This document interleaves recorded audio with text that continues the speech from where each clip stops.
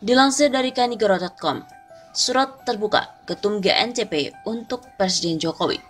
Ketua Umum Gerakan Nasional Cinta Prabowo atau GNCP, Aris Marsudianto, melihat dan menyikapi polemik, kisruh serta carut marut pelaksanaan dan penghitungan pemilu 2019.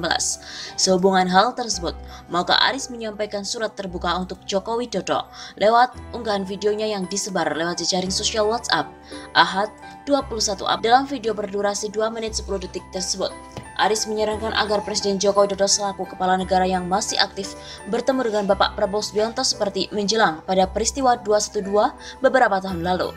Menurutnya, dengan pertemuan tersebut akan mendapatkan solusi yang bisa membuat masyarakat pendukung dan dua kubu bersatu. Dalam video tersebut ia menyatakan, saya yakin dengan bertemunya Pak Jokowi dan Pak Prabowo akan didapat solusi yang bisa membuat masyarakat pendukung 01 dan 02 bersatu.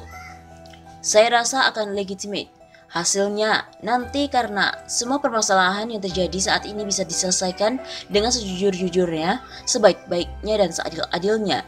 Tambahnya, ia khawatir bila hal ini dibiarkan maka akan timbul ekskalasi konflik yang susah diprediksi serta meruntuhkan proses demokrasi yang telah terbangun dan ia juga berharap polemik ini segera selesai.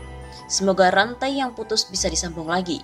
Saya rasa Bapak Jokowi dan Pak Prabowo sama-sama seorang negarawan dan akan berbuat semaksimal mungkin bagi bangsa dan negara.